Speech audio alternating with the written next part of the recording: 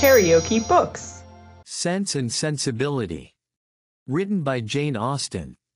Audiobook. Chapter 34. Mrs. John Dashwood had so much confidence in her husband's judgment, that she waited the very next day both on Mrs. Jennings and her daughter, and her confidence was rewarded by finding even the former, even the woman with whom her sisters were staying, by no means unworthy her notice. And as for Lady Middleton, she found her one of the most charming women in the world. Lady Middleton was equally pleased with Mrs. Dashwood. There was a kind of cold-hearted selfishness on both sides, which mutually attracted them, and they sympathized with each other in an insipid propriety of demeanor and a general want of understanding. The same manners, however, which recommended Mrs. John Dashwood to the good opinion of Lady Middleton did not suit the fancy of Mrs. Jennings, and to her she appeared nothing more than a little proud-looking woman of uncordial address, who met her husband's sisters without any affection, and almost without having anything to say to them, for of the quarter of an hour bestowed on Berkeley Street, she sat at least seven minutes and a half in silence. Elinor wanted very much to know, though she did not choose to ask, whether Edward was then in town. But nothing would have induced Fanny voluntarily to mention his name before her, till able to tell her that his marriage with Miss Morton was resolved on, or till her husband's expectations on Colonel Brandon were answered. Because she believed them still so very much attached to each other, that they could not be too sedulously divided in word and deed on every occasion. The intelligence however, which she would not give, soon flowed from another quarter. Lucy came very shortly to claim Elinor's compassion on being unable to see Edward, though he had arrived in town with Mr. and Mrs. Dashwood. He dared not come to Bartlett's buildings for fear of detection, and though their mutual impatience to meet was not to be told, they could do nothing at present but write. Edward assured them himself of his being in town, within a very short time, by twice calling in Berkeley Street. Twice was his card found on the table, when they returned from their morning's engagements. Elinor was pleased that he had called, and still more pleased that she had missed him. The Dashwoods were so prodigiously delighted with the Middletons, that, though not much in the habit of giving anything, they determined to give them a dinner, and soon after their acquaintance began, invited them to dine in Harley Street, where they had taken a very good house for three months. Their sisters and Mrs. Jennings were invited likewise, and John Dashwood was careful to secure Colonel Brandon, who, always glad to be where the Miss Dashwoods were, received his eager civilities with some surprise, but much more pleasure. They were to meet Mrs. Ferrars, but Elinor could not learn whether her sons were to be of the party. The expectation of seeing her, however, was enough to make her interested in the engagement.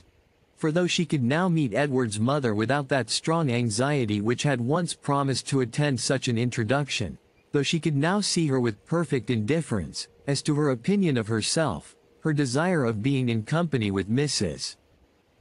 Ferrars, her curiosity to know what she was like, was as lively as ever. The interest with which she thus anticipated the party, was soon afterwards increased, more powerfully than pleasantly, by her hearing that the Miss Steeles were also to be at it. So well had they recommended themselves to Lady Middleton, so agreeable had their assiduities made them to her, that though Lucy was scarcely elegant, and her sister not even genteel, she was as ready as Sir John to ask them to spend a week or two in Conduit Street. And it happened to be particularly convenient to the Miss Steeles, as soon as the Dashwoods' invitation was known, that their visit should begin a few days before the party took place. Their claims to the notice of Mrs. John Dashwood, as the nieces of the gentleman who for many years had had the care of her brother, might not have done much, however, towards procuring them seats at her table.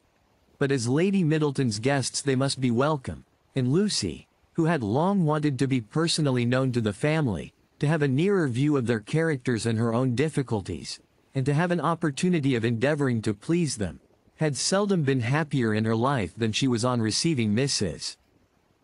John Dashwood's card. On Elinor its effect was very different.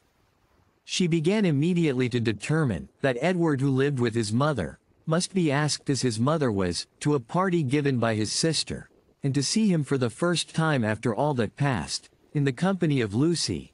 She hardly knew how she could bear it.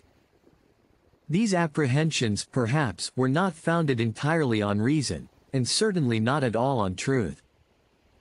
They were relieved however, not by her own recollection, but by the goodwill of Lucy, who believed herself to be inflicting a severe disappointment when she told her that Edward certainly would not be in Harley Street on Tuesday, and even hoped to be carrying the pain still farther by persuading her that he was kept away by that extreme affection for herself, which he could not conceal when they were together. The important Tuesday came that was to introduce the two young ladies to this formidable mother-in-law. Pity me, dear Miss Dashwood, said Lucy, as they walked up the stairs together, for the Middletons arrived so directly after Mrs. Jennings, that they all followed the servant at the same time. There is nobody here but you, that can feel for me. I declare I can hardly stand. Good gracious, in a moment I shall see the person that all my happiness depends on. That is to be my mother. Elinor could have given her immediate relief by suggesting the possibility of its being Miss Morton's mother, rather than her own, whom they were about to behold.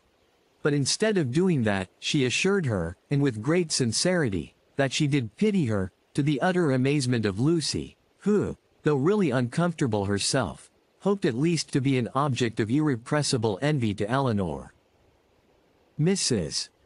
Ferrars was a little, thin woman, upright, even to formality, in her figure, and serious, even to sourness, in her aspect. Her complexion was sallow, and her features small, without beauty, and naturally without expression, but a lucky contraction of the brow had rescued her countenance from the disgrace of insipidity, by giving it the strong characters of pride and ill nature. She was not a woman of many words, for, unlike people in general, she proportioned them to the number of her ideas. And of the few syllables that did escape her, not one fell to the share of Miss Dashwood, whom she eyed with the spirited determination of disliking her at all events. Elinor could not now be made unhappy by this behavior. A few months ago it would have hurt her exceedingly, but it was not in Mrs. Ferrars's power to distress her by it now, and the difference of her manners to the Miss Steeles, a difference which seemed purposely made to humble her more, only amused her. She could not but smile to see the graciousness of both mother and daughter towards the very person, for Lucy was particularly distinguished, whom of all others, had they known as much as she did, they would have been most anxious to mortify while she herself, who had comparatively no power to wound them, sat pointedly slighted by both. But while she smiled at a graciousness so misapplied, she could not reflect on the mean-spirited folly from which it sprung, nor observe the studied attentions with which the Miss Steeles courted its continuance, without thoroughly despising them all four. Lucy was all exultation on being so honorably distinguished, and Miss Steele wanted only to be teased about Dr. Davies to be perfectly happy. The dinner was a grand one, the servants were numerous, and everything bespoke the mistress's inclination for show, and the master's ability to support it. In spite of the improvements and additions which were making to the Norland estate, and in spite of its owner having once been within some thousand pounds of being obliged to sell out at a loss, Nothing gave any symptom of that indigence which he had tried to infer from it. No poverty of any kind, except of conversation, appeared, but there, the deficiency was considerable. John Dashwood had not much to say for himself that was worth hearing, and his wife had still less. But there was no peculiar disgrace in this, for it was very much the case with the chief of their visitors, who almost all labored under one or other of these disqualifications for being agreeable, want of sense, either natural or improved, want of elegance, want of spirits, or want of temper. When the ladies withdrew to the drawing-room after dinner, This poverty was particularly evident, for the gentleman had supplied the discourse with some variety, the variety of politics, enclosing land, and breaking horses, but then it was all over. And one subject only engaged the ladies till coffee came in, which was the comparative heights of Harry Dashwood, and Lady Middleton's second son William, who were nearly of the same age.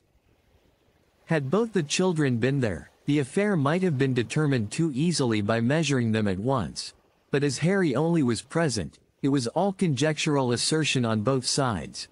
And every body had a right to be equally positive in their opinion, and to repeat it over and over again as often as they liked. The parties stood thus. The two mothers, though each really convinced that her own son was the tallest, politely decided in favor of the other. The two grandmothers, with not less partiality, but more sincerity, were equally earnest in support of their own descendant. Lucy, who was hardly less anxious to please one parent than the other, thought the boys were both remarkably tall for their age, and could not conceive that there could be the smallest difference in the world between them. And Miss Steele, with yet greater address gave it, as fast as she could, in favor of each. Elinor, having once delivered her opinion on William's side, by which she offended Mrs. Ferrars and Fanny still more, did not see the necessity of enforcing it by any farther assertion, and Marianne, when called on for hers, offended them all, by declaring that she had no opinion to give, as she had never thought about it. Before her removing from Norland, Elinor had painted a very pretty pair of screens for her sister-in-law, which being now just mounted and brought home, ornamented her present drawing room. In these screens, catching the eye of John Dashwood on his following the other gentleman into the room, were officiously handed by him to Colonel Brandon for his admiration. These are done by my eldest sister, said he, and you, as a man of taste, will, I dare say, be pleased with them. I do not know whether you have ever happened to see any of her performances before, but she is in general reckoned to draw extremely well. The colonel, though disclaiming all pretensions to connoisseurship, warmly admired the screens, as he would have done anything painted by Miss Dashwood, and on the curiosity of the others being of course excited, they were handed round for general inspection. Mrs. Ferrars, not aware of their being Elinor's work, particularly requested to look at them, and after they had received gratifying testimony of Lady Middleton's approbation, Fanny presented them to her mother, considerately informing her, at the same time, that they were done by Miss Dashwood. Hum, said Mrs. Ferrars, very pretty, and without regarding them at all, returned them to her daughter. Perhaps Fanny thought for a moment that her mother had been quite rude enough, for, coloring a little, she immediately said, they are very pretty, ma'am, ain't they? But then again, the dread of having been too civil, too encouraging herself, probably came over her, for she presently added. Do you not think they are something in Miss Morton's style of painting, ma'am? She does paint most delightfully. How beautifully her last landscape is done. Beautifully indeed. But she does everything well. Marianne could not bear this, she was already greatly displeased with Mrs. Ferrars. In such ill-timed praise of another, at Elinor's expense, though she had not any notion of what was principally meant by it, provoked her immediately to say with warmth. This is admiration of a very particular kind. What is Miss Morton to us? Who knows, or who cares for her? It is Elinor of whom we think and speak. And so saying, she took the screens out of her sister-in-law's hands, to admire them herself as they ought to be admired. Mrs. Ferrars looked exceedingly angry, and drawing herself up more stiffly than ever, pronounced in retort this bitter philippic. Miss Morton is Lord Morton's daughter. Fanny looked very angry too, and her husband was all in a fright at his sister's audacity. Elinor was much more hurt by Marianne's warmth than she had been by what produced it. But Colonel Brandon's eyes, as they were fixed on Marianne, declared that he noticed only what was amiable in it, the affectionate heart which could not bear to see a sister slighted in the smallest point. Marianne's feelings did not stop here. The cold insolence of Mrs. Ferrars's general behavior to her sister, seemed, to her, to foretell such difficulties and distresses to Elinor, as her own wounded heart taught her to think of with horror. And urged by a strong impulse of affectionate sensibility, she moved, after a moment, to her sister's chair, and putting one arm round her neck, and one cheek close to hers, said in a low, but eager, voice. Dear, dear Elinor, don't mind them. Don't let them make you unhappy.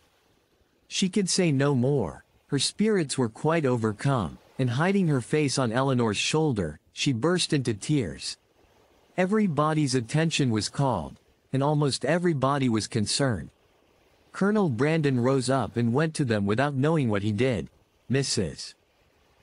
Jennings, with a very intelligent, ah, poor dear, immediately gave her, her salts, and Sir John felt so desperately enraged against the author of this nervous distress, that he instantly changed his seat to one close by Lucy Steele, and gave her, in a whisper, a brief account of the whole shocking affair.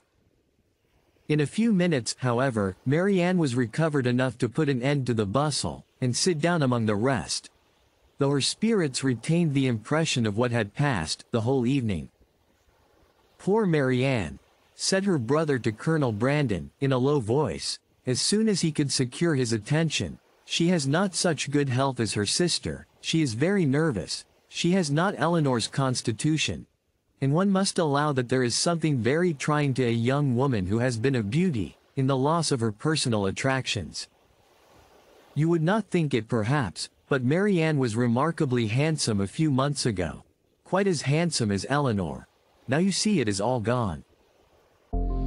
If you liked what you heard, please subscribe to the channel.